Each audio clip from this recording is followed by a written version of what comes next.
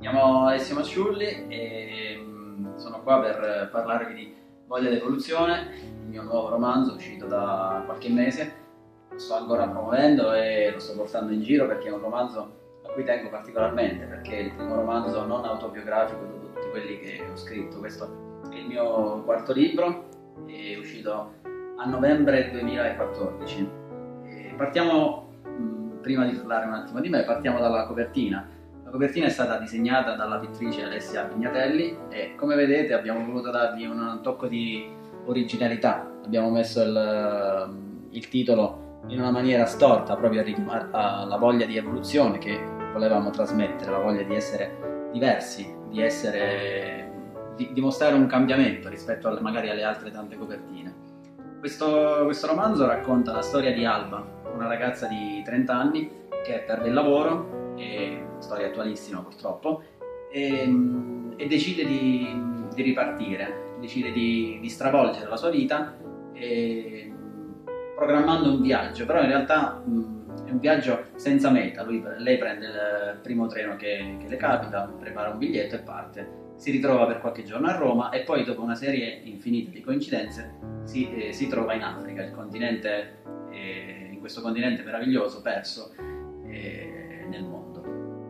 E Alba in questo libro eh, affronta eh, tante problematiche, tante, tante vicissitudini che richiamano un po' alla vita umana. Io ho voluto usare questo paragone della vita di Alba come se fosse la vita di ognuno di noi.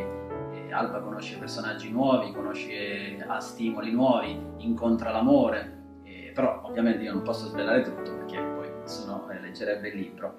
E per quanto riguarda la, mia vita, eh, io ho cominciato a scrivere nel 2008. Il mio primo romanzo si intitola Credevo bastassi amare e racconta una storia vera, la storia della mia vita, una storia triste per certi versi, ma dagli aspetti molto positivi.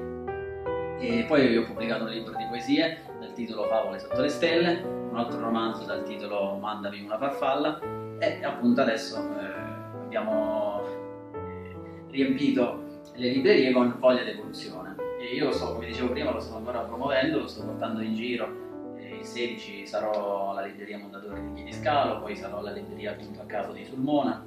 E stiamo facendo tantissimi eventi e tantissime presentazioni. E quello che, che, ci tengo a dire è che il ricavato della vendita dei quadri eh, di copertina, questo e questo qua, in parte andrà in beneficenza. Questo è un progetto che ha voluto Alessia, la, la pittrice, voluto proprio donare in beneficenza il ricavato.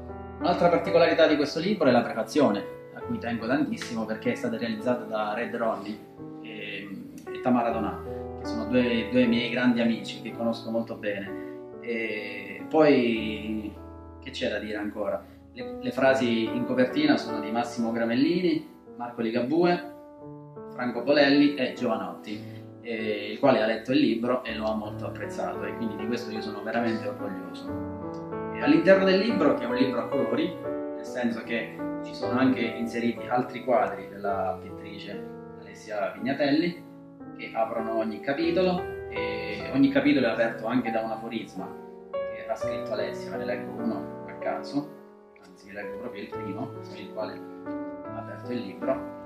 La vita è un castello di carte se per qualche evento esso cade, con queste stesse carte bisognerebbe giocare una nuova partita.